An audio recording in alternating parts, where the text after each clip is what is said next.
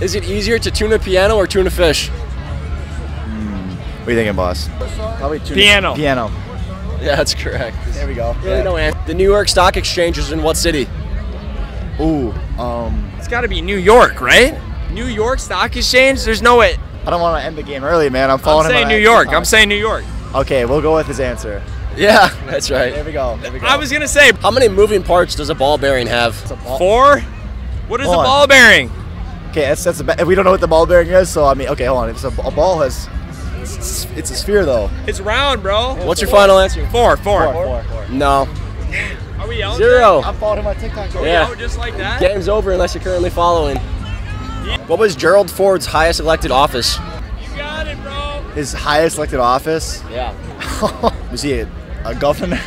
That's a good guess. It's not right though. Congressman. Oh. Yeah.